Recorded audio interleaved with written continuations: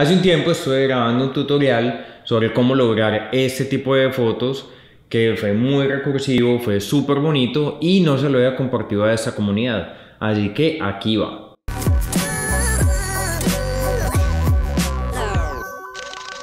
Hoy vamos a trabajar con cartulina. Lo que quiero hacer es una foto del collar colgando y generar unas ondas con la cartulina negra. Tengo tres cartulinas negras generando un poco de textura para que se me diferente, se me vea un poco más de profundidad. Entonces, eh, primero voy a comenzar con el escenario para que me genere un poquito esas ondas que estoy buscando. La voy a enrollar así un poco, en forma de S. Vamos a ver si me funciona. Ya tengo la cámara conectada al computador y ahí vamos a poder ver entonces un poquito más las imágenes que estamos tomando.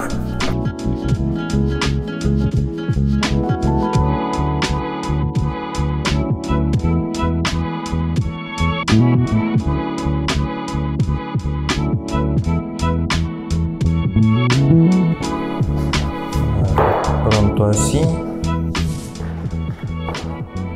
Bien, me gusta. Vamos a ver qué tal se ve. Y para poder colgar el producto voy a usar este brazo que en realidad es que en realidad es para para soportar el flex. En realidad es para soportar el flex pero pues me sirve mucho aquí en el estudio y puedo jugar mucho como con, con estas herramientas que ya tengo. Ok con esta luz la vamos a prender de una vez. Vamos a usar esta luz con este Octabox y lo que va a hacer es que me va a iluminar un poquito esta escena.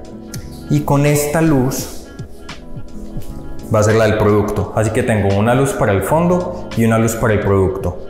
Vamos a hacer pruebas y ahí vamos a, a jugar con la configuración con la posición de las luces para encontrar esa imagen que queremos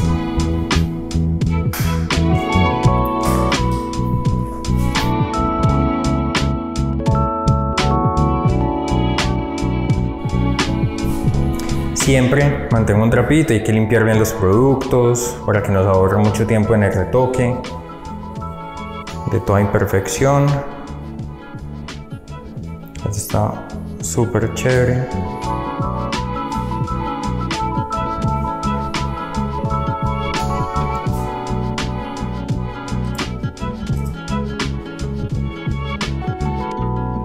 Yo creo que ahí está súper bien. Excelente. Voy a acercar un poquito más para que vayan viendo un poco las imágenes.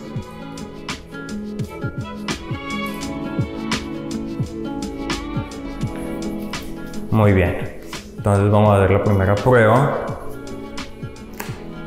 Primero, en este momento tengo el trípode, pero me gusta primero hacer las pruebas con la cámara en mano para que no me limite, para que no me vaya a limitar a, pues, a nuevos ángulos, a nuevos encuadres, como poder ver un poco cómo a la creatividad.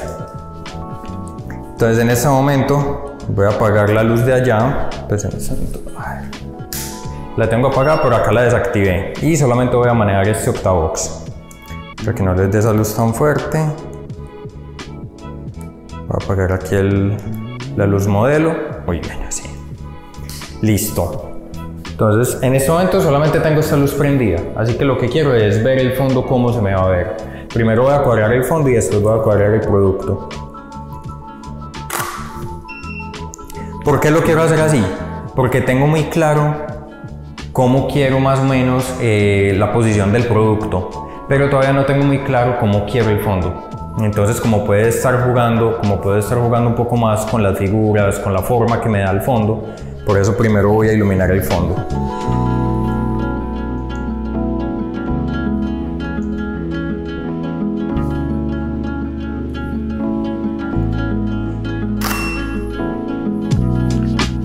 Bien. Bien, me gusta, me gusta mucho. Ya mismo les voy a mostrar.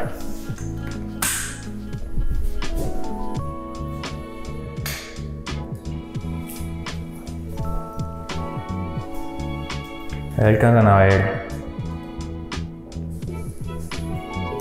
Apago otra vez esta luz. Y aquí me está dando otro reflejo, también lo voy a apagar. Esto otra. Bien.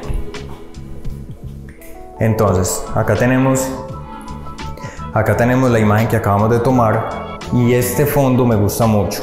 Esta curva acá me está generando un brillo muy interesante, por acá me genera una sombra, pero esta cartulina se me está perdiendo mucho. Y yo lo que quiero es como generar volumen entre las dos cartulinas. Así que vamos a mover un poco el fondo para ver cómo nos queda mejor.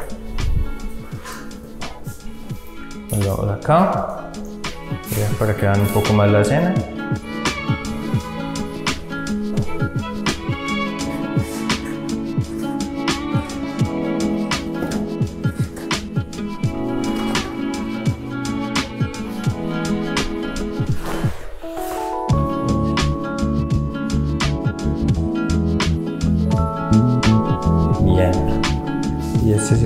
Sí lo voy a acercar un poquito más. Ok, como esto es un brillante, como es, es una es joyería, entonces va a tender a, a, generar brillos. Y obviamente, si genera brillos y obviamente que va a estar mejor iluminado, nos va a resaltar un poco más. Así que este lo voy a ubicar en esta sombra, que es la parte más oscura, y así me va a generar, y así me va a resaltar un poco más. La idea de esto es hacer pruebas y ensayar bastante para poder encontrar esa foto que queremos.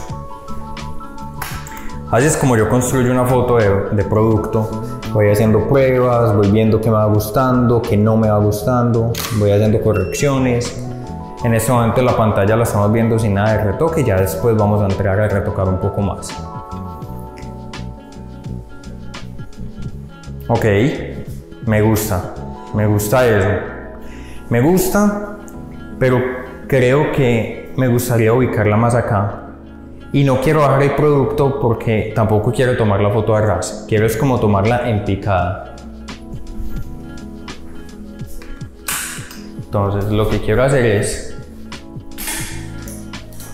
Lo que quiero hacer es que este producto se me va más abajo.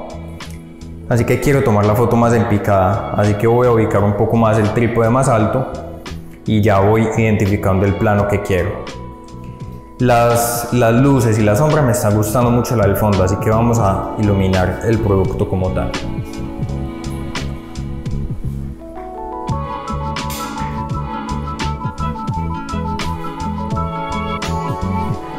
Bien, aquí ya tengo esta luz.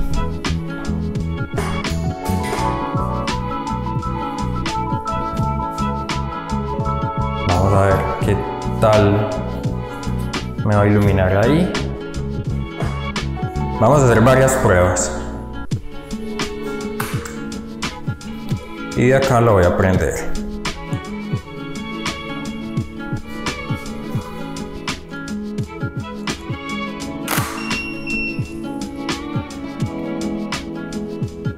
Vamos a ver cómo sale. Ok.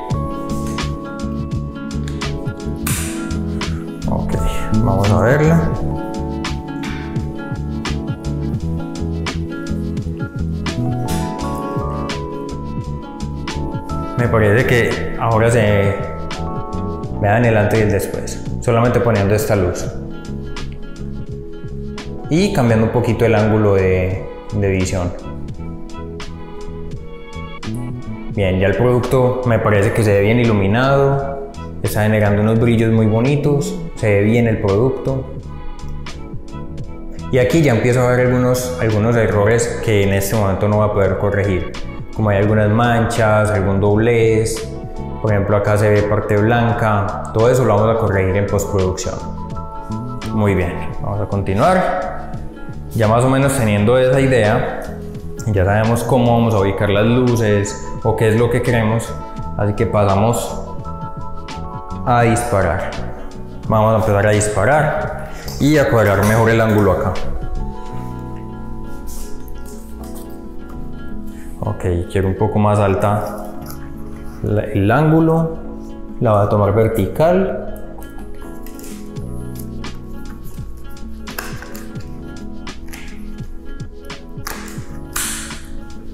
Un poco más alto.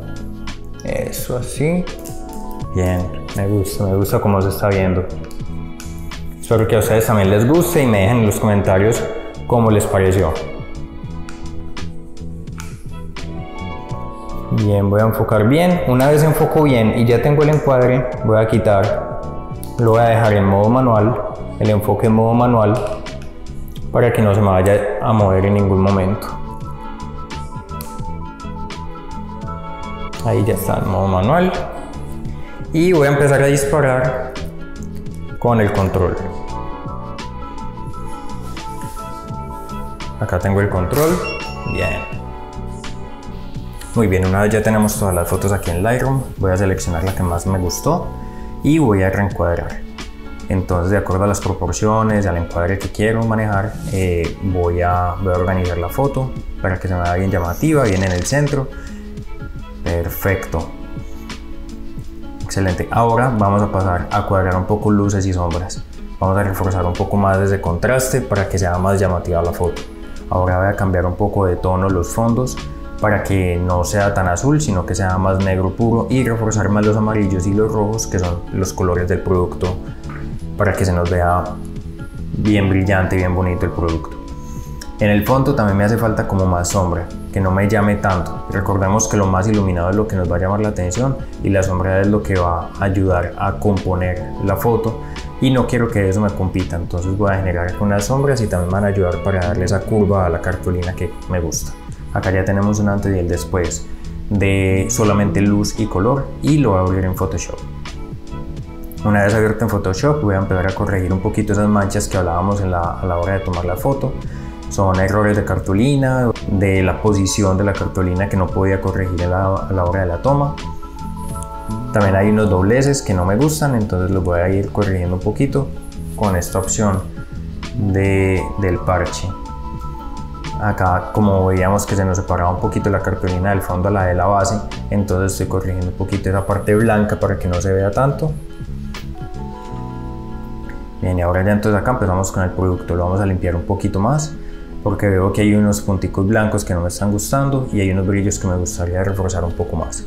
Entonces estoy, estoy acá limpiando un poco el producto, acá veo que me hace falta que sea más liso, más, más bonito, se puede pulir un poco más, sin ser muy detallistas porque igual el producto es demasiado pequeño y como les había dicho, esta edición va a ser súper rápida y sencilla, porque lo que quería reforzar era eh, la parte de la toma de la foto. Después vamos a ver un video en el que podamos reforzar un poco más el tema del retoque. Eh, déjenme saber los comentarios, déjenme saber qué les pareció y qué les gustaría ver en el próximo IGTV para que podamos profundizar más en este tema. Acá estoy separando yo siempre hago los cambios, bueno, siempre duplico la capa y hago los cambios en una capa duplicada para que no me vaya a afectar la original. Y encima de ellas creo una capa de niveles, uno con brillo y una con sombras, y a reforzar un poco más esos brillos y esas sombras que quiero. Perfecto, ahora ya que tengo el producto listo, me alejo un poco más y veo que me hace falta un poco de sombras y brillos para reforzar esa profundidad que quiero mostrar con el fondo. Excelente. Ya lo último que le voy a hacer es que voy a aplicar un poquito de detalle y listo. Ya la foto la tenemos lista. Ahora vamos a ver el antes y el después. Es muy importante que la hora de la toma de la foto esté de muy buena calidad y tenga buenos, buena configuración para poder retocar. Si la foto en la hora de la toma no está bien tomada, en el retoque se nos va a complicar muchísimo más.